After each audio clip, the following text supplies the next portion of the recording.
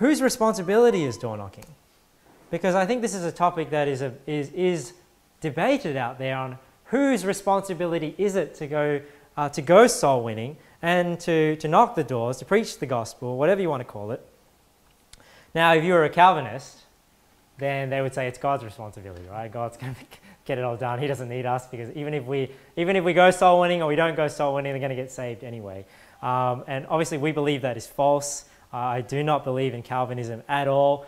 In fact, I, I actually, the first church I went to was a Bible Presbyterian church, so I'm actually quite familiar with Calvinism and, and the five points of Calvinism. And I do not believe any one of those five points is true. Uh, so I'm not a Calvinist. I believe that God has done everything in terms of uh, getting people saved, and now it's our job. He's committed unto us the ministry of reconciliation to get the gospel out there. Now, let's, let's have a look at Matthew 28. Um, we'll just look at every time uh, the Great Commission is mentioned, because it's actually mentioned in um, all four of the Gospels, not in Luke, but the reason why they say that is because Luke wrote the book of Acts, and we see the Great Commission in the first chapter of Acts. But in Matthew 28, it says there from verse 16, Then the eleven disciples went away into Galilee, into a mountain where Jesus had appointed them. And when they saw him, they worshipped him, but some doubted, and Jesus came and spake unto them, saying, So Jesus is just talking right here to the eleven disciples. And when they saw him, they worshipped him, but some doubted. And Jesus came and spake unto them, saying, All power or authority is given unto me in heaven and in earth. Go ye therefore and teach all nations, baptizing them in the name of the Father and of the Son and of the Holy Ghost, teaching them to observe all things whatsoever I commanded you. And lo, I am with you always, even unto the end of the world. Amen. And you know, one thing that's interesting, you know how this says, Go ye therefore and teach all nations, but how come there are missionaries out there just trying to reach one nation? You know, why, why if the goal, when Jesus said, Go and teach all nations, why would you then say, Well, I'm just going to teach one nation? I don't know why, but um, you know, it's pretty clear that, that God doesn't want the, limitations being just one culture or one nation of people. He wants us just to reach everybody um, and not put a limit there. Let's go to Mark 16, uh, verse 14 says here, afterward he appeared unto the eleven. So it's probably the same, very same uh, instance as they, as they sat at meat. Oh, sorry, it's not the same instance because this is where they were eating here. The other, they were in a mountain. And upbraided them with their unbelief and hardness of heart because they believed not them which had seen him after he was risen. And he said unto them, Go ye into all the world and preach the gospel to every creature. He that believeth and is baptized shall be saved, but he that believeth not shall be damned. And these signs shall follow them that believe in my name, of that believe in my name shall they cast out devils, they shall speak with new tongues, they shall take up serpents, and if they drink any deadly thing, it shall not hurt them. They shall lay hands on the sick, and they shall recover. So then, after the Lord had spoken unto them, he was received up into heaven and sat on the right hand of God. And they went forth and preached everywhere, the Lord working with them and confirming the word with signs following. Amen. So that's one thing to keep in mind. Because Jesus was only saying this to the 11, uh, you know, we, we want to understand this passage well. And I'll get into whose responsibility is and how that applies to us. But when he talks about here the, the, signs that will follow them that believe, I believe it's, it's only talking about these disciples, these apostles here that, he's, that he was actually talking to. Um, and then that's why later on in verse 20 it goes, and they were went forth, um, the, the, the disciples that he was speaking to, and preached everywhere the Lord working with them and confirming the word with signs following. Amen. And, and my position there is, is because, you know, back then they didn't have the whole word of God. You know, they were the ones appointed to preach the word of God and also some of them to pen down the word of God. So they don't have the Bible written as we do today and can't say, you know, it is written and, and go back to the scriptures. And that's why Jesus gave them these miracles and these signs and these wonders to confirm that what they were preaching was the word of God. Now let's go to John. John 20, 19. And this is where we see the commission given to the disciples in the Gospel of John. Verse 19 in chapter 20. Then the same day at evening, being the first day of the week, when the doors were shut where the disciples were assembled for fear of the Jews, came Jesus and stood in the midst and said un, saith unto them, Peace be unto you. And when he had so said, he showed unto them his hands and his side. Where uh, then were the disciples glad when they saw the Lord? Then said Jesus to them again. So it's interesting that there are different instances where he's telling them to go because it's almost like they, they weren't going and he had to keep telling them to, to, that this is what um, that they needed to do. Or maybe he was just, not that they weren't going because he asked them to wait for the promise of the Father, but he was emphasizing, hey, we need to go out and preach the gospel to every creature. So if God was just going to do it without us, why is Christ so adamant in telling his disciples, go and preach the gospel to every creature? This is what he says in verse 21. Then said Jesus to them again, Peace be unto you. As my Father hath sent me, even so send I you. And the last one, which we'll see from Luke uh, in Acts, and we'll just read a, a, bit, a bit of a larger portion here. And we'll just start from verse 1 in Acts 1. The former treatise have I made, O Theophilus, of all that Jesus began both to do and teach until the day in which he was taken up, after that he through the Holy Ghost had given commandments unto the apostles whom he had chosen. To whom also he showed himself alive after his passion by many infallible proofs, being seen of them forty days, and speaking of the things pertaining to the kingdom of God. And being assembled together with them, commanded them that they should not depart from Jerusalem, but wait for the promise of the Father, which, saith he, ye have heard of me. For John truly baptized with water, but ye shall be baptized with the Holy Ghost not many days hence. When they therefore were come together, they asked of him, saying, Lord, wilt thou at this time restore again the kingdom to Israel? And he said unto them, It is not for you to know the times or the seasons which the Father hath put in his own power, but ye shall receive power after that the Holy Ghost is come upon you, and ye shall be witnesses unto me both in Jerusalem and in all Judea and in Samaria and unto the uttermost part of the earth. One thing I just want to point out there, it's interesting that you know, we often want to look at heavenly things. We want to often think about where we go when we die, you know, and look to, to the heavenly Jerusalem, look to the future, to the coming of Jesus Christ. And this is what the disciples were doing there, right? They were, they were asking him. Um, you know, it, they said to him in verse 6, Lord, will thou at this time restore again the kingdom to Israel? Because so they're looking for that, that, that future abode, right? That, that, that heavenly place that they're going to be. But what does Jesus do? What does Jesus direct them back to? He says, hey, it's not for you to know the times or the seasons which the Father hath put in his own power. So he's not saying it's not important, but he directs them back to their job here on earth. But ye shall receive power after that the Holy Ghost is come upon you, and ye shall be witnesses unto me, both in Jerusalem and in all Judea and in Samaria and unto the uttermost part of the earth. So, yes, we keep heaven and we keep the future in our foresight, but don't forget that we have a job here to do and that's to preach the gospel to every creature. Verse 9 And when he had spoken these things, while they beheld, he was taken up, and a cloud received him out of their sight. And while they looked steadfastly toward heaven as he went up, behold, two men stood by them in white apparel, which also said, Ye men of Galilee, why stand ye gazing up into heaven? This same Jesus which is taken up from you into heaven shall so come in like manner as ye have seen him go into heaven. Then returned they unto Jerusalem from the mount called Olivet which is from Jerusalem, a Sabbath day's journey.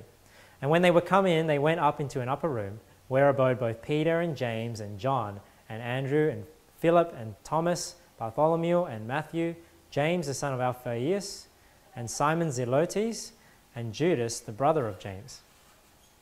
These all continued with one accord in prayer and supplication with the women. So just note that, with the women. So the women are with them as well. And Mary, the mother of Jesus, and with his brethren. And in those days, Peter stood up in the midst of the disciples and said, the number of the names together were about 120. So we see that there's, there's about 120 of them gathered in that room. So ho hopefully it was a large room. If we had 120 people in here, it'd be pretty crowded. Um, and they were all continued in one, in, in, in one accord in prayer and supplication with the women. So there were women there with them too. It wasn't just uh, the men. Now let's continue reading in uh, chapter 2. And when the day of Pentecost was fully come, they were all with one accord in one place. So this is all 120 of them, including the women. And suddenly there came a sound from heaven as of a rushing mighty wind, and it filled all the house where they were sitting. And there appeared unto them cloven tongues like as of fire, and it sat upon each of them. So note that it sat upon each of them. So it's not just sitting up upon the men, is it? It's sitting upon the women as well, this, this promise of the Father that they were waiting for. And they were all filled with the Holy Ghost and began to speak with other tongues as the Spirit gave them utterance. And there were dwelling at Jerusalem Jews, devout men out of every nation under heaven. Now, when this was noised abroad, the multitude came together and were confounded because that every man heard them speak in his own language. And they were all amazed and marveled, saying one to another, Behold, are not all these which speak Galileans? And how hear we every man in our own tongue wherein we were born? Parthians and Medes and Elamites, and the dwellers in Mesopotamia and in Judea, and Cappadocia and Pontus and Asia and Phrygia and Pamphylia, in Egypt and in the parts of Libya about Cyrene, and strangers of Rome, Jews and proselytes, Cretes and Arabians. We do hear them speak in our tongues the wonderful works of God. And they were all amazed and were in doubt, saying one to another, saying one to another, What meaneth this? What's going on? Others mocking said, These men are full of new wine. But Peter, standing up with the eleven, lifted up his voice and said unto them, Ye men of Judea, and all ye that dwell at Jerusalem, be this known unto you, and hearken to my words. For these are not drunken as ye suppose, seeing it is but the third hour of the day. So the third hour of the day would be what, nine o'clock in the morning, I think? But this is that which is spoken by the prophet Joel. And it shall come to pass in the last days, saith God, I will pour out of my spirit upon all flesh, and your sons and your daughters shall prophesy, and your young men shall see visions, and your old men shall dream dreams. And on my servants and on my handmaidens I will pour out in those days of my spirit, and they shall prophesy. So, a couple of things. I know we read a lot of Bible just then, but a couple of things I just wanted to point out in those uh, scriptures. You know, in, in the previous passages, in John, in Mark, in Matthew, do you remember uh, Jesus, before he rose, before he ascended back into heaven, he gave them that great commission to go into all the world and preach the gospel to every creature. Now, one thing I want to point out is if this was the last thing that Jesus said before he left us, before he went up to heaven, don't you think that's something really important? It's something that we should emphasize. I mean, if that's the one thing he left his disciples with, saying, you know, go ye into all the world and preach the gospel, you know, go ye therefore and teach all nations, and that's the last thing he said to them, you would think that's the one thing he wanted to leave you with. I mean, think about it. It's like when we, when we preach, generally the last thing you say is the last thought you want everyone to leave with, and then you finish. Well, isn't that the same with Jesus? That's like the last thing he's telling them and then he ascends up to heaven, you would think that's something very important and something that we need to take to heart. Now, num- number two, you remember in Matthew and Mark, it was only said to the 11 disciples, wasn't it? Because only the 11 disciples were gathered there, and when we're given the account of when Jesus said those words, it was only to the 11. And some people might say, well, the commission then was only to the 11 apostles, it wasn't just to everybody. Well, somebody might think that, but a couple of thoughts there is, you know, if it was only for the 12, then why did he say that you'd have to teach all nations, that you would have to go into the uttermost part of the earth? I mean, is that even possible for 12 to even do that in their lifetime if the commission was only to them? So I don't believe it was only for the apostles and that it was for those that would then follow in the footsteps of the apostles because Jesus is saying he wants everyone to know the gospel unto the uttermost part of the earth. But some people might say, you know, some people might say, um, you know, well, the responsibility is only for, you know, for men, you know, because it was only told to men. But we see there in Acts, and that's why we read that, that if, think about it, if Christ's uh, intention was for only men to go out and preach the gospel, why then, when he said there, you know, wait for the promise of the Father, in Acts 1 here, I'll just go back there. He says, But wait for the promise of the Father, which saith he, Ye have heard of me. For John truly baptized with water, but ye shall be baptized with the Holy Ghost not many days hence. And then when we go into Acts 2, we see there that the promise of the Father to baptize them with the Holy Ghost and to let them speak with tongues, it was given to the men and the women. So if God's, if Jesus' intention was just to send the men out to preach the gospel, why did the Holy Ghost come on the women as well? Why didn't it just come on the men? So it tells me that Jesus is not just limiting this work to the male gender, but he wants the females also to get involved in the work. And God has, has showed that, I believe, to us in Acts 2 by pouring out his spirit on the men and the women. And we see there the prophecy of Joel later on when Peter is preaching. He even says that this pouring out of the Spirit, this promise of the Father, is the fulfillment of the prophecy of Joel. And you can read that in Joel. It's very worded very similar. And it says, And it shall come to pass in the last days, verse 17, saith God, I will pour out of my spirit upon all flesh, and your sons and your daughters shall prophesy, and your young men shall see visions, and your old men shall dream dreams. And on my servants and on my handmaidens I will pour out in those days of my spirit, and they shall prophesy.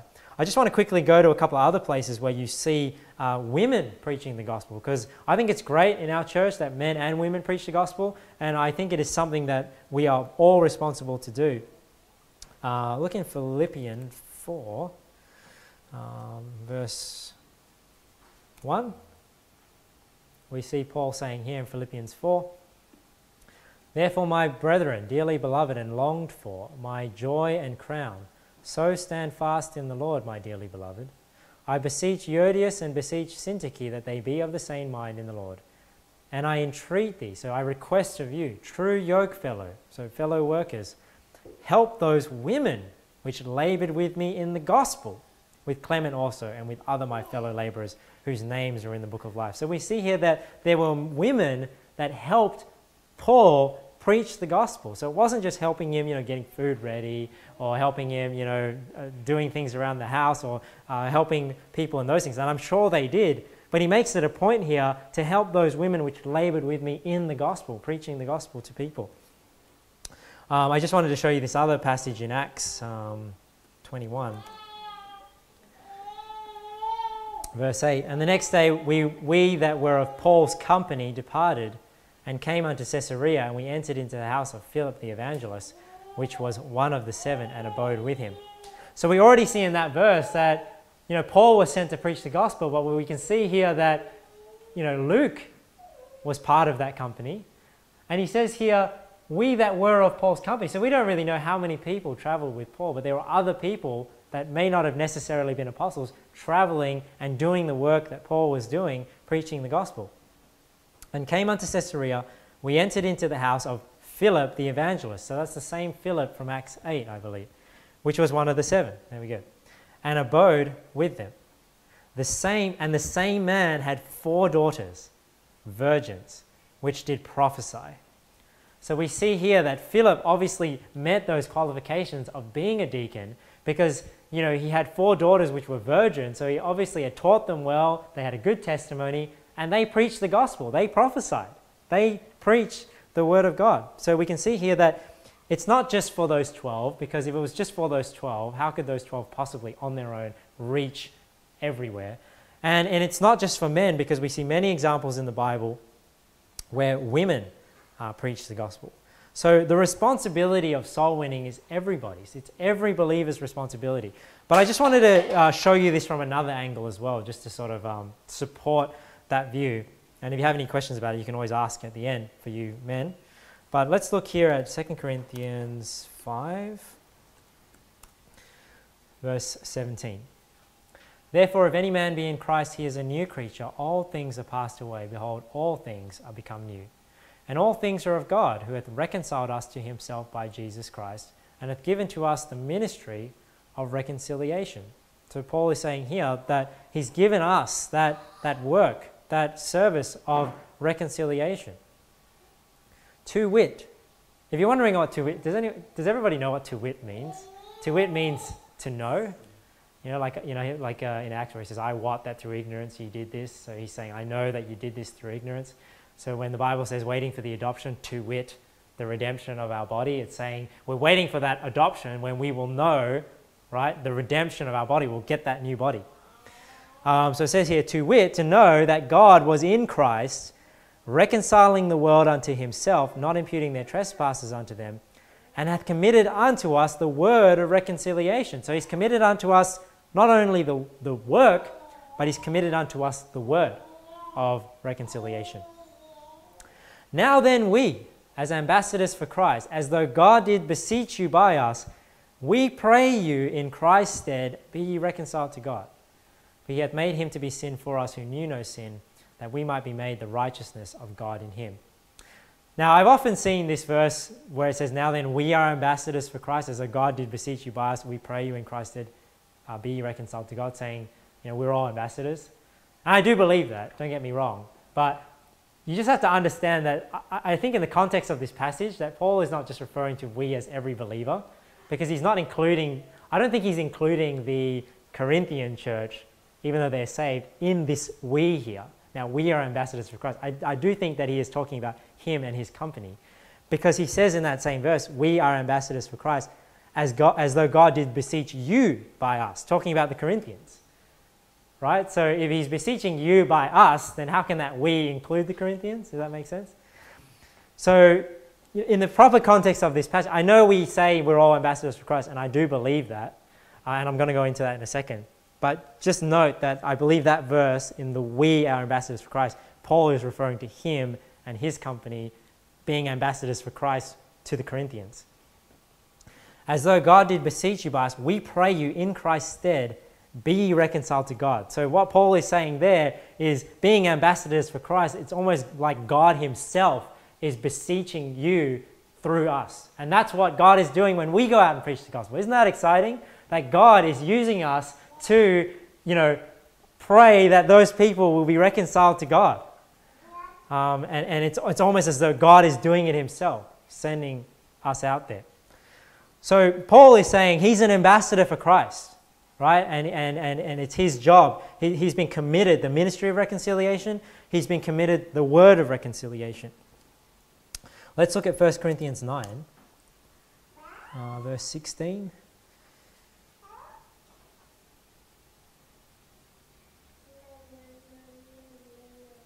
Look at what Paul says here. For though I preach the gospel, so Paul just talking about himself. For though I preach the gospel, I have nothing to glory of. So let's have that frame of mind when we preach the gospel. You know, we don't have anything to glory of. You know, we're just doing what we're asked to do. Um, it doesn't make us any better than anybody else. You know. For though I preach the gospel, I have nothing to glory of. For necessity is laid upon me, saying, I don't have anything to glory of because I have to do it. Um, yea, woe is unto me if I preach not the gospel. So he's saying it, that's, it's very, very uh, sad if I don't preach the gospel because I'm commanded to do it. For, because if I do this willingly, I have a reward. But if against my will a dispensation of the gospel is committed unto me. What is he saying there? He's saying if I do it because I want to do it, I'm going to get a reward. But if I don't do it willingly, God is commanding me to do it. I have to do it anyway. Um, so why not do it willingly and get a reward? But Paul is saying here that, you know, woe unto him if I preach not the, not the gospel, because he's saying necessity is laid upon him because he's commanded to do it. So we see here with Paul that he was committed the, committed the ministry of reconciliation, he's committed the word of reconciliation. He's saying here that it's necessary for him to preach the gospel. And some people might say, well, that was just Paul talking about himself right? That's not Paul, you know, this doesn't apply to every believer because every believer isn't Paul. That was just, you know, Paul, it was necess- necessary for Paul because he was apostle, necessary to Paul because he was, he was committed the ministry of reconciliation. He was committed the word of reconciliation. But think about this. Let's go to 1 Corinthians 4, verse 9. 1 Corinthians 4, verse 9. And I think this thought will tie it all together. And this is how I think we can show that it is truly what Paul applied to himself, applied to every believer. Verse 9 For I think that God hath set forth us, the apostles, last, as it were appointed to death. So, what, what I think he's saying there, he's saying, like, I think he gave us the short end of the stick, right? Because we're the apostles, but we're all going to die a martyr's death, uh, as it were appointed to death. For we are made a spectacle unto the world, and to angels and to men. He's like saying, we're, we're, like, we're like put on show. Uh, we are fools for Christ's sake, but ye are wise. We are weak, but ye are strong. Ye are honorable, but we are despised. Isn't it funny how that we get this frame of mind? I mean, we lift up the apostles and we're saying, these men are so great. Wouldn't it be great to have been an apostle? But here we hear from an apostle that it wasn't that great. He's saying, you know, we're appointed unto death. We're made a spectacle unto the world. It didn't sound like they were living a very great life, were they? We are fools for Christ's sake, but ye are wise. So people think we're idiots, but they think that you're wise, that you, you, that you are smart. We are weak, but ye are strong. Ye are honorable, but we are despised. So back then, it was actually the apostles that were despised and rejected, and it was uh, others that were held in higher honor than them. Even unto this present hour, so even, even as he's writing this to the Corinthian church, we both hunger and thirst, and are naked and are buffeted, beaten, and have no certain dwelling place. We don't even know where we, where we stay tonight. And labor, working with our hands, being reviled, we bless being persecuted, we suffer it. Being defamed, we entreat. We are made as the filth of the world and are the offscouring of all things unto this day. Oh man. And see, none of us live like that. So when we think we've got it hard, you know, we've got to get, our, get back to the Bible and, and, and realize, hey, we don't have it that tough. So, you know, let's get to work and do something.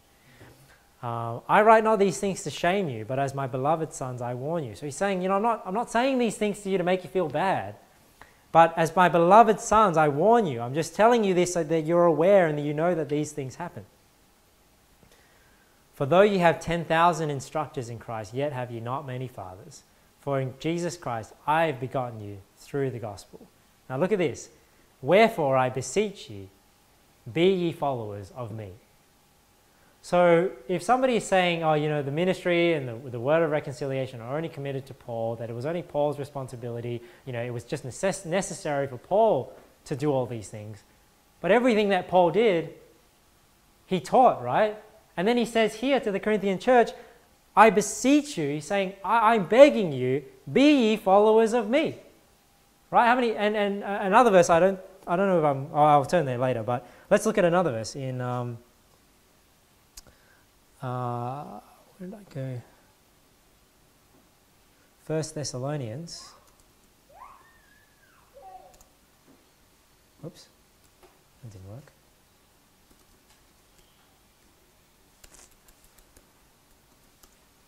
First Thessalonians 1. Here's another passage. It says here, Paul and Silvanus and Timotheus unto the church of the Thessalonians, which is in God the Father and in the Lord Jesus Christ. Grace be unto you and peace from God our Father and the Lord Jesus Christ.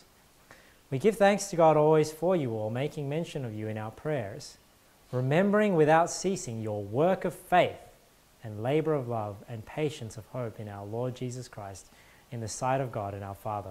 Now, I think that work of faith and labor of love involves preaching the gospel knowing, brethren, beloved, your election of God. For our gospel came not unto you in word only, but also in power, and in the Holy Ghost, and in much assurance, as ye know what manner of men we were among you for your sake. So he's saying here that their, their testimony um, says, when it came unto them in much assurance, because you know how we were among you. So he's saying to the Thessalonians, you know how we behaved ourselves among you. And look at this. And ye became followers of us and of the Lord. So when Paul is saying, you know what manner of men we were among you, what includes that manner? That manner was that they had the ministry of reconciliation, that they had the word of reconciliation, that it was necessary for them to preach the gospel to every creature. That was his manner of life. And he's saying to the Thessalonians there, You know what manner of men we were among you. And he's praising them now and saying, And ye became followers of us. So he's praising the fact that they are emulating what Paul did and of the Lord. So it's not just that they were doing what Paul did, they were also doing what the Lord Jesus did. Having received the word in much affliction with joy of the Holy Ghost, so that ye were in samples to all that believe in Macedonia and Achaia. And look at this, for from you sounded out the word of the Lord, not only in Macedonia and Achaia, but also in every place your faith to God were to spread abroad, so that we need not to speak anything. Now, does it sound like that they were just preaching the gospel to friends and family? No, like I'm all for preaching the gospel to friends and family, but there's a necessity to get the gospel out to everyone. And here Paul is praising the Thessalonian church, saying, You knew what manner of man I was, you became followers of us, And your testimony was not just in Acha- uh, Achaia and in Macedonia, but every place your faith to God word is spread abroad. So that we, we don't even have to praise you in this. Other people already know what things you're doing. And this is the sort of church we want to be. We want not only people in Punchbowl and in the city of Canterbury, and that's why we put this word out on the internet, because we want everybody everywhere to know what is happening here and to be encouraged by it, just like Paul was encouraged by it uh, when he saw them do this. So let me ask you if, it, if, if the necessity was only on the 11 or only on Paul, why then is Paul praising the Thessalonians for doing what they're doing and praising them for doing what he did, you know, and encouraging them to do that. Um, but let's look at a couple of others. And the reason why I'm coming at it from this angle is I think it's a bit more of a solid uh, stance on why every believer needs to be involved in the Great Commission. Because, you know, if you just say, well, you know, because Jesus taught us to preach the gospel to every creature, somebody might say, well, that was just for the apostles, right? So I think we have to add a bit more onto that to say and reason, you know, is this for every believer? And I believe it is. Um, here, what, what he says in uh, Philippians 3, uh, the Bible says here, Brethren, be followers together of me, and mark them which walk, so as you have us for an example. So, Paul writes there under the inspiration of the Holy Ghost, he's saying, Brethren, be followers together of me. So, do what I did but he's saying, mark them which walk so as you have us for an example. So, but also note those people that are also walking like us and, and, um, and follow them as well. As you have us for an example. So he's saying, Paul set that example. He wants you to do as he did. And what did he do? He was an ambassador. He preached the gospel. He, he said, Woe unto me if I preach not the gospel. That was the mentality that he had. And just one more on that point. 11. Uh, again, he says, Be ye followers of me, even as I also am of Christ. Now I praise you, brethren, that you remember me in all things and keep the ordinances as I delivered them unto you. So Paul wasn't just commanding the churches just to eat, read, um, you know, fellowship, you know, Lord's Supper, baptism, because he says, Remember me in all things and keep the ordinances. So that tells me that there were more than just the ordinances that he wanted the uh, churches to do.